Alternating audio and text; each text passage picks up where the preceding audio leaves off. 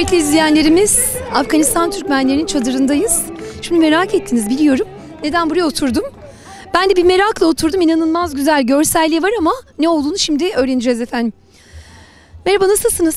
Teşekkür ederim. Siz nasılsınız? Teşekkürler. Şimdi bu güzelliği bize anlatır mısınız? Ee, Bu bizim e, kızın annesi tarafından yeni evlenen gelinlere e, örülüyor ve evinde sürekli bereket olması için kızın odasına yeni gelin odasına asılıyor.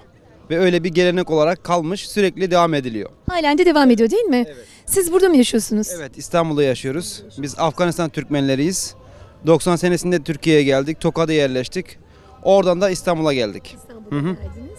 Aslında hem Afganistan e, kültürünü hem Tokat kültürünü harmanlayıp birazcık da böyle İstanbul kültürüyle e, inanılmaz güzel bir ambiyans oluşturmuşsunuz. Birazcık bize o kültürü anlatır mısınız? Çünkü bakıyoruz şimdi el işlerimiz var, keçeden yapılan çantalar var, özel yapılmış el işleri var. Keçeden yapılmış olan yine bir e, halı mı deriz artık e, ne denir? Çok da güzel dilimli ilk defa görüyorum ben de. Bunları anlatır mısınız bize? Ya, genelde zaten Türkmenin e, öz kültüründe el işi çok meşhurdur. Suzaniler, el e, halılar, işte kırmızı halılar dediğimiz. Ta bizde hala evde dokunuyor halılarımız. Ara sıra e, hanımlarımız, ablalarımız dokuyorlar. Biz de kendi kültürümüzü yaşatmaya çalışıyoruz. Ee, Afganistan kültüründe özellikle dikkatimizi çeken keçeler var. Şimdi e, çadırın tavana baktığımız anda da e, keçeleri görüyorum. Evet. E, arada işlenilen özellikle elde dokuma e, ipler var, kalın ipler var. Ona göre saçaklar yapılmış ucuna. Bunlar da çok özel. Tabii e, aradaki e, işte çıtalarla toparlanmış ve bağlanmış çadıra. E, keçelerin yapıl- yapılışı nasıl acaba? O uzun bir süreç. Önce keçeler e, belli bir kalıba alınıyor. Ondan sonra suda eritiliyor. E, onun özel ustaları var. Onlar da bir şekilde toparlayıp yapıyorlar. Yapıyorlar. Evet. Ömrü ne kadar sürüyor bu keçelerin? Çünkü güzel korumak lazım. Bayağı bir e, ya ömürlük diyebiliriz. Evet, bayağı. bir- Sıkıntı olmadan soğuk kış gecelerinde aslında değil mi? Evet, evet, aynen. En sağlıklı e, halılardan, kilimlerden bir tanesi diyebiliriz. Dilimli olması ilk defa dikkatimi çekti sevgili izleyenlerimiz. Çoğu bölgede biz bunu görüyoruz. Keçeleri görüyoruz.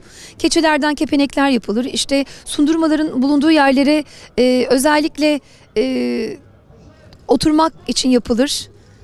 Halı olarak kullanılır. Bazı yerlerde koruyucu olarak kullanılır. Bazı yerlerde de işte keçeler hem yerde hem gökte yer alır. Çünkü çadırları da en iyi şekilde soğuktan ve sıcaktan koruyan Afganistan Türkmenimizin dediği gibi keçeler efendim.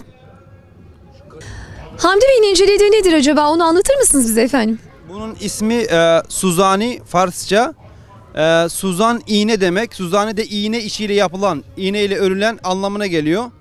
E, yatak örtülerine, duvar üstlemelerine kullanılıyor genelde. Kızlar tarafından yapılıyor. Öyle evde çeyiz olarak götürülüyor. Hepsi el işidir. Hepsi el işi. Orada çok farklı dokumalar da var. Başlıklar da var. Onlar da mı el işi acaba? Evet, evet, el işi. Şapkalar var. Evet, kalpaklar var. Orada e, ayna süsleri var. Hepsi hal. Kıymetli izleyenlerimiz Afganistan Türkmenlerin çadırında dolaşırken tesadüfen Antalya Yörükler Derneği Başkanımız Abdullah Duman'a rastladık. Herhalde alanda fazla dolaştık başkanım. Acıkmışsınız da. Hemen Afganistan'ın çöreğini alıp yemeye başlamışsınız. Evet, e, e, acıktım. Acıkmamın sebebi de var ya biliyorsunuz ben e, Türkçü bir adamım. E, Türk diyarlarında acıkırım hep onlara hasretimdir her zaman. E, tabii burası her ne kadar Afganistan çadırı dersek, desek de Güney Türkistan'ın çadırındayız şimdi biz. Değil mi? Tabii tabii Güney Türkistan'ın çadırındayız. Çok zengin bir e, kültür ve medeniyet e, derinlikleri vardır.